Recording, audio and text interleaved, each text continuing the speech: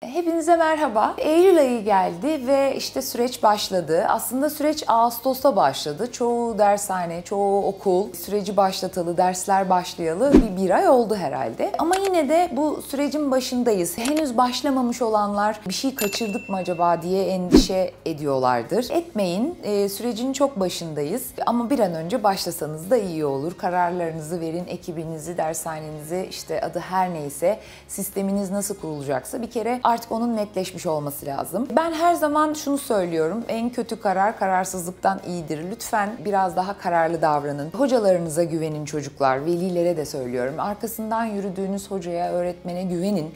Ee, çok sık karar değiştirmeyin. Acaba yanlış yolda mıyız diye. Artık bu saate kadar e, sisteminizi kurmadıysanız da bu saatten sonra kurduğunuz sisteme güvenin ve oradan devam edin lütfen. Sürecin içerisindeki velilerim lütfen e, öncelikle endişe etmeyin. Öncelikle birazcık bu işi bilenlere bırakın. Okulunuz, işte size yardım eden dershaneniz, öğrenciyi zaten doğru yönlendirecekler. E, sizin elinizden tutacaklar. Her zaman doğruyunun arayışı içerisindesiniz biliyorum ama sizin güveniniz, sizin desteğiniz zaten ekibinizi taşıyacaktır. Siz birazcık ekibinizin arkasında durun. E, ekibiniz de, e, öğretmenleriniz de, okul e, öğretmenleriniz ya da işte her kimle devam ediyorsanız hazırlığa onlar da size destek vereceklerdir. Bunu unutmayın.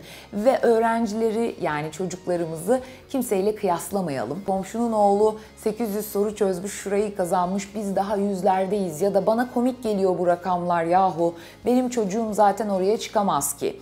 Siz bunları düşündüğünüz ve söylediğiniz müddetçe zaten çocuk da oralara çıkamayacak.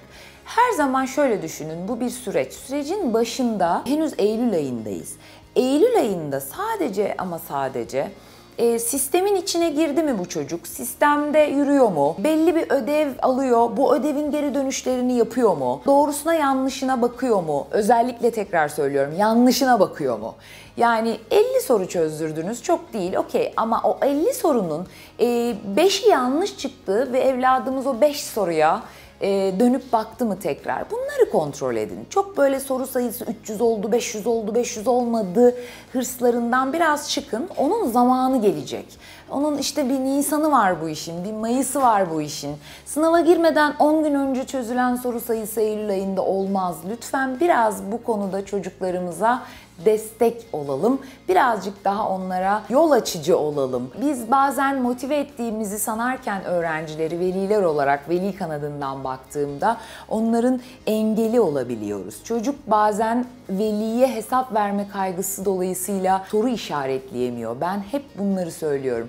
Lütfen orada birazcık daha çocuğunuzun karşısında değil, arkasında da değil, yanında durduğunuzu, onun elinden tuttuğunuzu, onun annesi babası olduğunuzu hatırlayın ve çocuğa bu yönde destek verin sadece. İşi ekibe bırakın, işi okula bırakın. Lütfen okulda geçirilen zamanı boş geçirilen zaman gibi düşünmeyin. Soru çözdürülmüyorsa da size bu konular anlatılıyor. Bu konular anlatılırken öğrencilerime sesleniyorum. Bu konular anlatılırken de size belli etkinlikler, belli araçlar veriliyor.